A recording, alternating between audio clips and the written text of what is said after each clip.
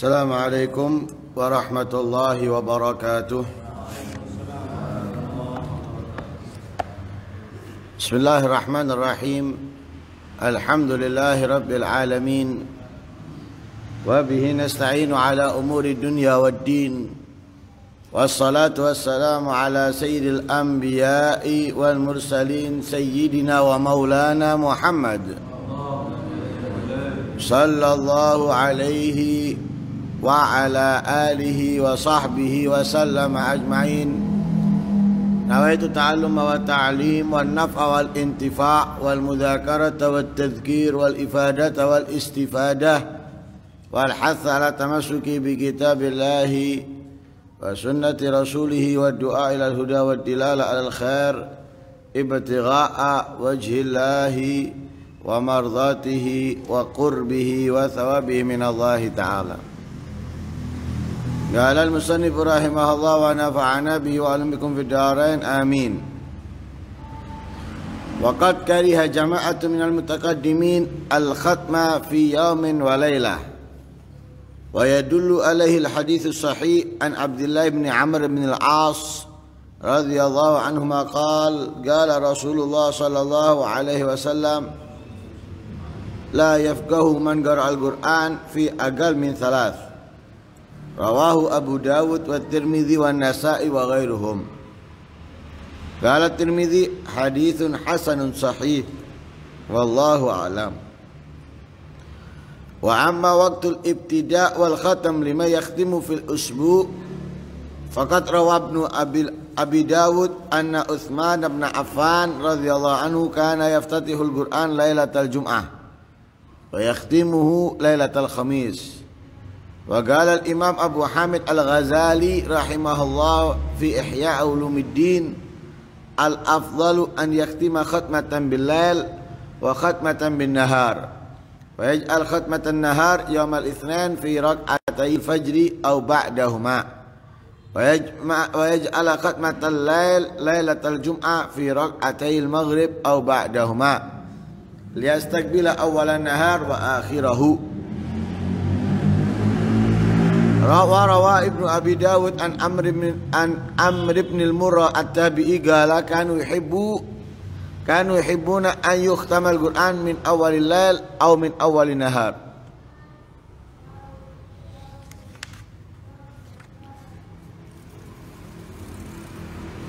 Sebagian ulama terdahulu memakruhkan menghatamkan Al-Qur'an dalam sehari semalam sekali.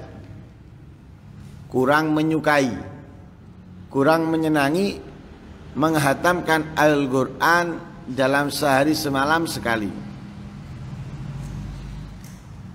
Karena ada riwayat yang sahih hadis yang sahih dari Abi Ab, dari Abdullah bin Amr bin As radhiyallahu anhuma di mana beliau bersabda dari Rasul sallallahu alaihi wasallam la yafqahu. Tidak mengerti tidak faham. Man qara al-qur'ana siapa yang membaca Al-Qur'an? Fi aqal min salas kurang dari tiga hari. La yafqah tidak mengerti tidak faham orang yang membaca Al-Quran alias menghatamkannya fi akal lebih sedikit atau kurang min salas dari tiga hari. Nah, ini dipakai hujah, dipakai dalil kemakruhan bagi ulama terdahulu menghatamkan Al-Quran dalam sehari semalam sekali. Hadis ini seakan-akan menunjukkan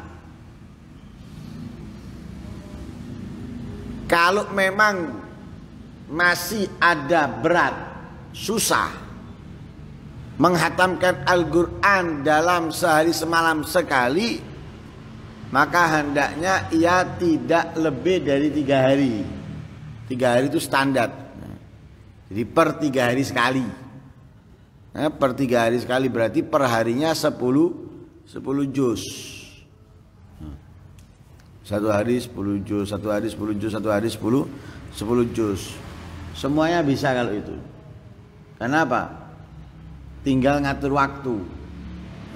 10 juz kalau kita pakai per setiap sholat 2 juz berarti dalam satu hari 10 berarti tiga hari sekali kita bisa hatam dua juz habis sholat subuh dua juz atau habis sholat duha dua juz habis sholat duhur dua juz habis sholat asar dua juz habis maghrib dua juz habis sisa dua dua juz atau habis sisa dua juz malam ha? mulai dua juz misalnya berarti dalam satu hari sepuluh juz nah, masih bisa tapi kalau dalam satu hari satu malam itu langsung menghatamkan ini berat. Kecuali bagi orang yang memang memiliki tingkat semangat yang tinggi, hampir tidak ada kebosanan dalam dirinya, baru bisa. Nah, tapi kalau masih ada rasa bosan dalam menjalankan kebaikan dan lain sebagainya, sulit. Karena itu dimakruhkan. Lah untuk mengambil eh, bagaimana yang pas tiga hari. Karena kurang dari tiga hari dianggap kurang ngerti sama Rasul Shallallahu Alaihi Wasallam di dalam hadis sahih. Tapi Imam Tirmidzi mengatakan hadisnya bukan hadis sahih tapi hasanun sahih. Ha? Hadis hasan sahih. Karena hadis hasan ini tingkatannya macam-macam.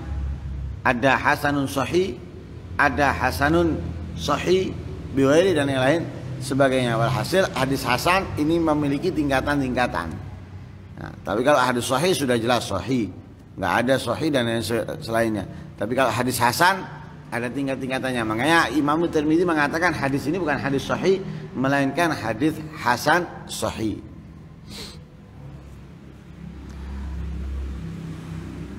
Adapun waktu memulai dan menghatamkan Al-Quran bagi orang yang menghatamkan dalam satu pekan sekali.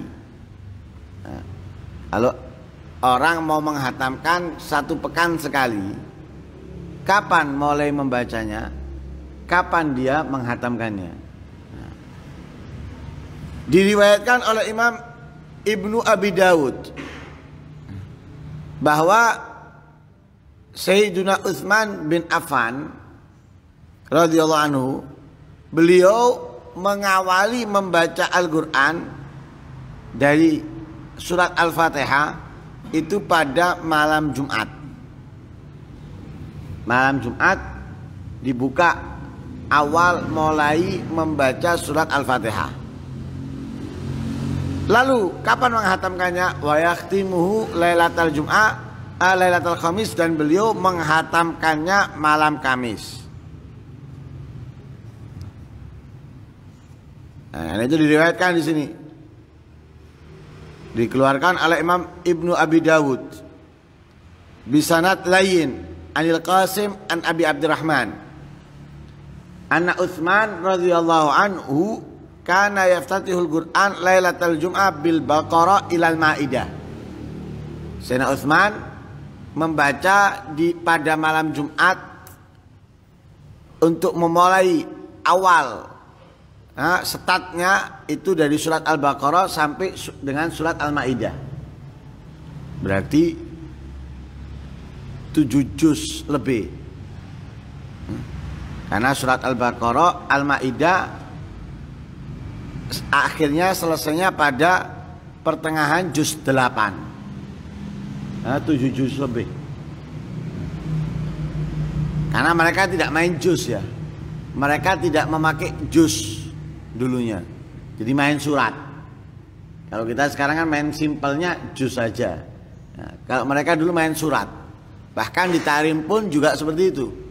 Hmm, kalau kita masuk beberapa masjid ada fotokopian yang dilaminating dan semisalnya atau di Bigora itu aturan ya, membaca Al-Quran hizib.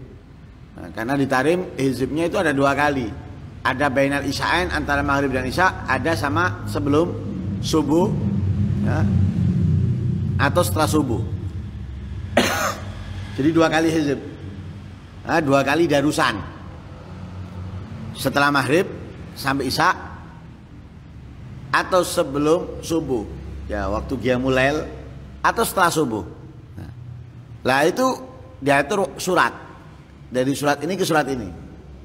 Nah, seperti yang dilakukan oleh Sayyidina Utsman. Beliau membaca dari surat Al-Baqarah sampai akhir surat Al-Maidah. Dilakukan pada malam Jumat. Kemudian hari kedua dari surat Al-An'am yaitu pertengahan juz 8 ila Hud sampai akhir surat Hud. Juz 12. Hah? Juz masih berada di dalam juz 12 tapi sudah hampir selesai. Nah, surat Hud itu akhirnya juz 12 tinggal beberapa lembar lagi sudah juz 3 13. Hmm. Kemudian itu malam Sabtunya, malam Ahadnya dari surat Yusuf juz 12 akhir-akhir juz 12 ila Maryam sampai akhir surat Maryam yaitu juz 16. Nah, juz 16. Kemudian setelah itu malam Seninnya dari surat Toha juz 16 masih ya, sampai Tasimim Musa wa Fir'aun. Ini juz 18 eh 17 Ah, 18 ak 19 akhir atau 18 akhir. Ya. Kemudian surat Al-Ankabut malam apa? Selasa. Nah, malam Selasa surat Al-Ankabut sampai surat Sot. Nah, berarti tadi itu surat Tosimim berada di sekitar juz 20-an. Nah. Kemudian Al-Ankabut sampai Sot. Sot juz 23. Nah, Sot juz 23. Setelahnya sofat. Yasin, sofat, sot. Ya. Kemudian setelah itu malam Rabunya surat Az-Zumar yaitu juz 24 nah, sampai Ar-Rahman juz 27 nah, juz 27 Kemudian malam kemis dari surat setelah surat Ar-Rahman yaitu surat Waqiah sampai selesai. Jadi seperti itu yang dilakukan oleh Sena Uthman dari surat ke surat. Wakal al-Imam Abu Hamid Al-Ghazali rahimahullah fi Ihya Ulumuddin.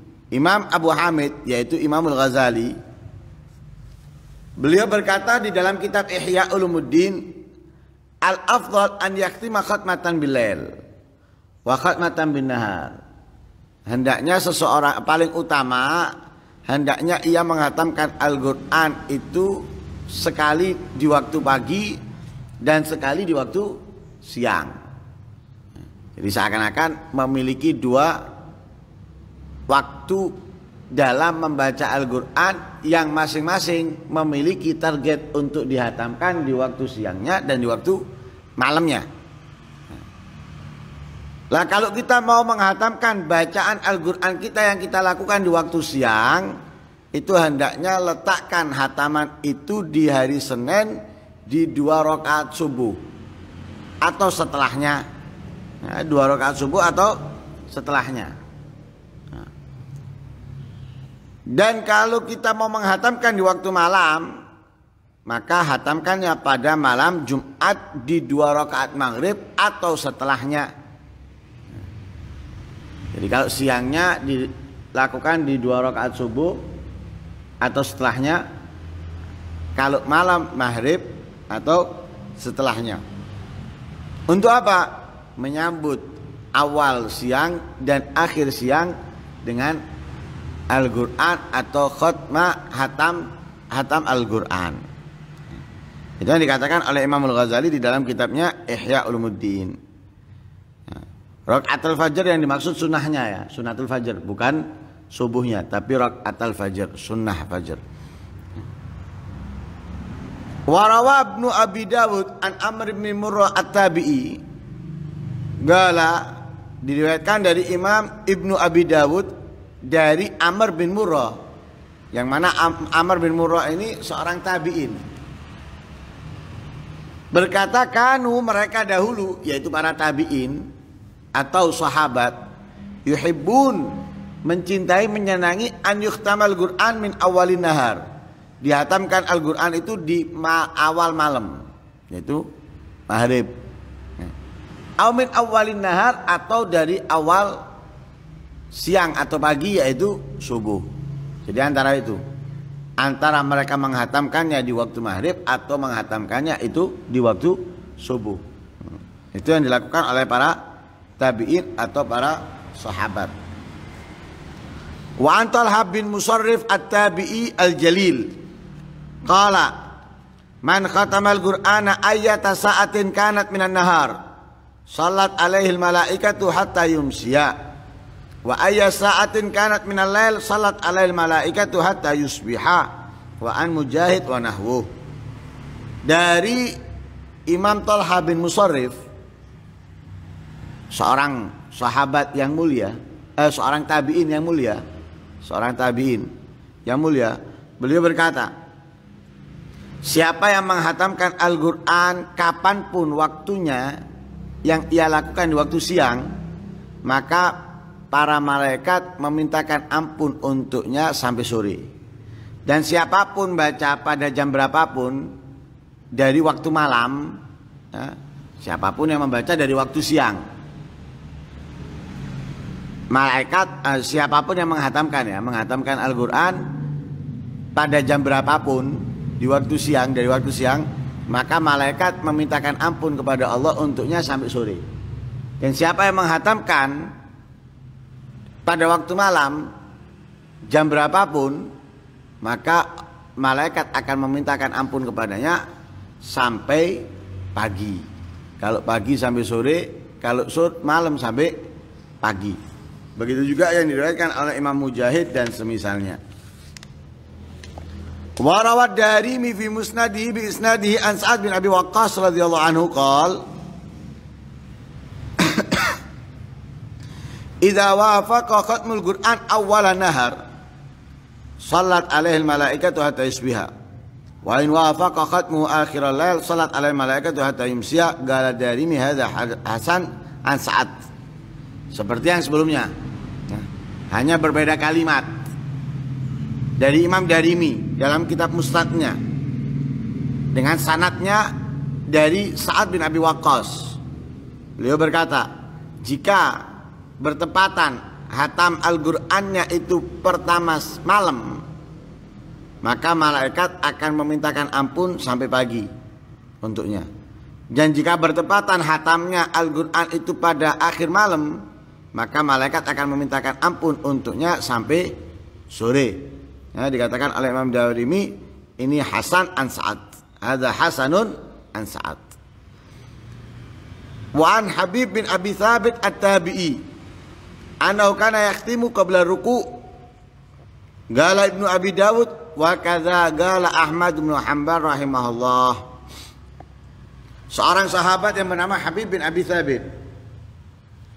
Beliau menghatamkan Al-Qur'an sebelum ruku. Artinya? Dilakukan di saat sholat. Dihatamkan sebelum ruku. Ya, memang waktunya membaca Al-Quran dalam sholat setelah surat Al-Fatihah. Yaitu saat berdiri sebelum rukuk. Jadi beliau menghatamkan sebelum rukuk Al-Qur'an. Begitu juga yang dikatakan oleh Imam Ahmad bin Hambal. Lah ini fasal adalah sisa-sisa. Satati fil babil ati insyaallah akan dibahas lagi.